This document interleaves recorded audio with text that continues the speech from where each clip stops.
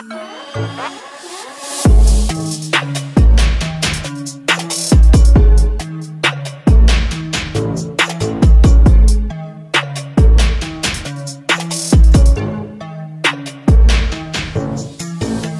up, Rant Gang? Welcome back to Redfern Rants. I am Jay Redfern, back with epic rap battles of history. Today we've got Gandhi versus Martin Luther King. I don't know how I haven't reacted to this one yet because I've seen it mentioned that many times.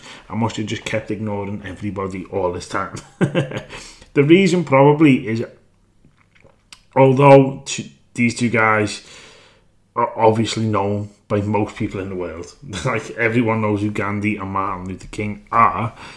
Um, I can't remember much of what I've I've learned about them in the past, maybe in school or anything, and I can't.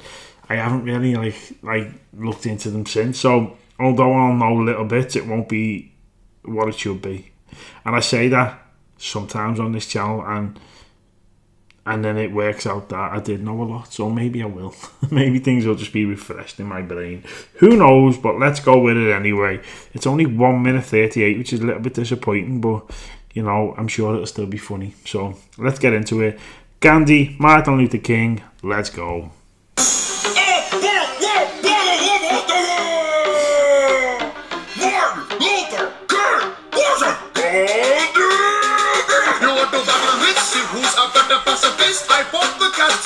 Du still cannot touch this slumdog now. First name Messiah, rap so hot, I spit yoga fire. rap so hot, I spit yoga fire. Kind of like Yoga Flame um, from Street Fighter, was it? Street Fighter? Yeah, I think it was Street Fighter, wasn't it? Yeah, it was.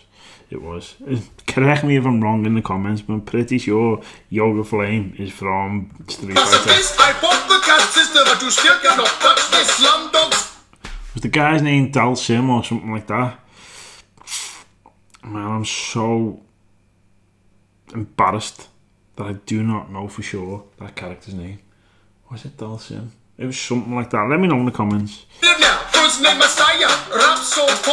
Now, first name Messiah, rap so hot, I spit yoga fire. Everything you preach, I said it first. You should jot down these words, plagiarize my whole word. You what's on the court, like the real. Take that back name Messiah. Rap so hot, I spit yoga fire. Everything you preach, I said it first. Oh, everything you preach, I said it first. Calling them out just from the get go.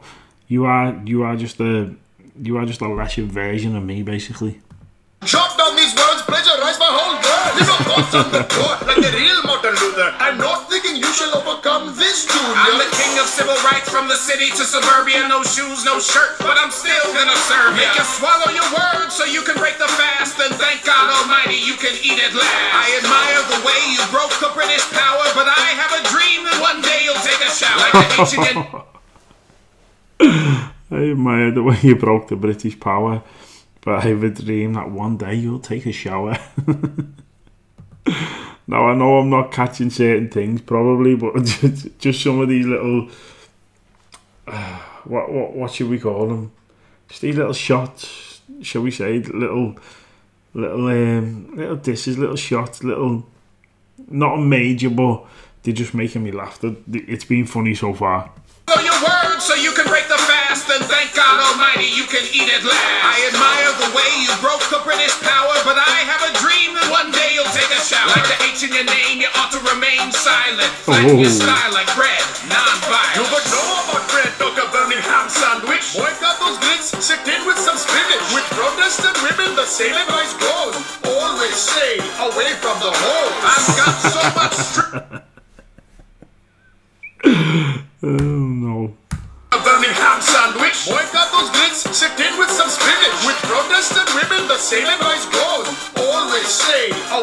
away from the hole. I've got. I'm sure my notifications are just there to ruin my reactions lately. With protests and women, the same advice goes. oh, I can't remember exactly how it went. Basically, stay away from the holes. Do you know how clever that is? street cred, they write my name on the sides.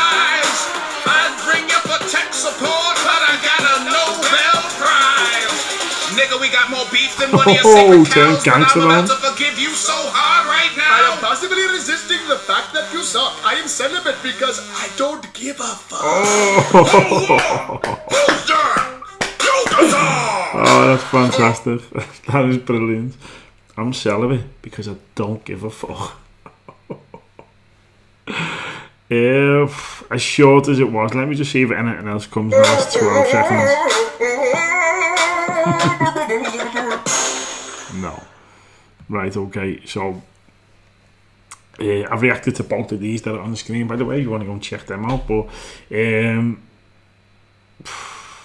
as short as it was, it was still funny, obviously, because you could see me laughing. Um, I love that celibate line at the end, by the way.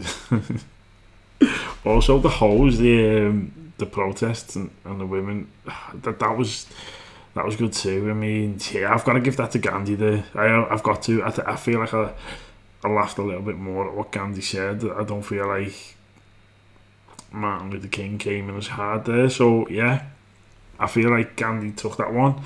Um, I'm sure people will disagree. Uh, let me know in the comments. But I feel like that could have been a little bit longer. Surely, for two figures like Martin Luther King and Gandhi, the, that battle could have been a bit, a bit, uh, yeah, a bit longer, and maybe, maybe like they like to do, and introduce someone else into it. Um,